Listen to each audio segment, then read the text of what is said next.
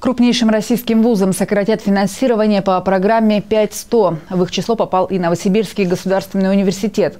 Программа 5.100 направлена на продвижение лучших российских университетов в мировой топ-100. Вузы получают субсидии и отчитываются о выполнении программ перед министерством. В 2017 году объем финансирования будет сокращен на треть. Вместо 14,5 миллиардов федеральный бюджет выделит 10,5 миллиардов рублей. Постановление об этом уже подписал премьер-министр Дмитрий Медведев.